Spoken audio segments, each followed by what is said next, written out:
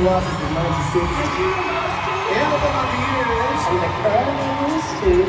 Changed the game. Alanis Morissette.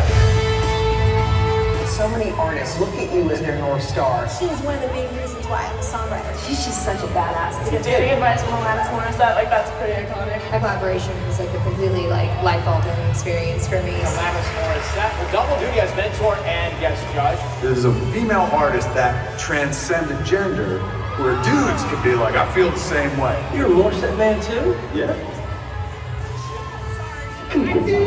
My heart, my arms, my arms, my arms. There they are.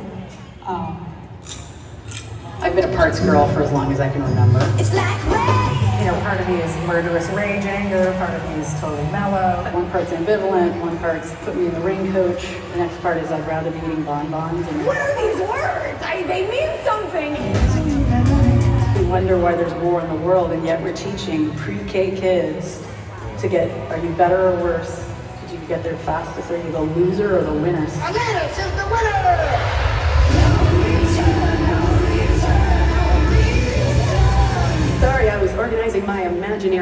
We have so much oregano, and I'm like, why? My sense is if we're going to err on the side of matriarchy, patriarchy, err on matriarchy. Because matriarchy takes care of everybody.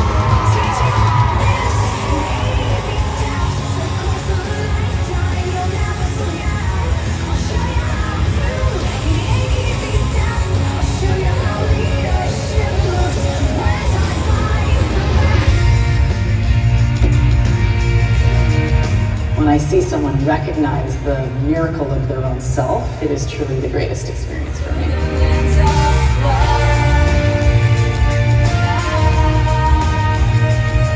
I will die happy at 123 years old knowing that these songs were used when people needed them.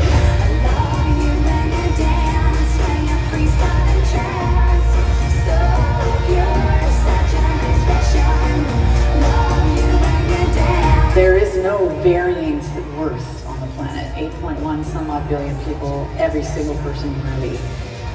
Period.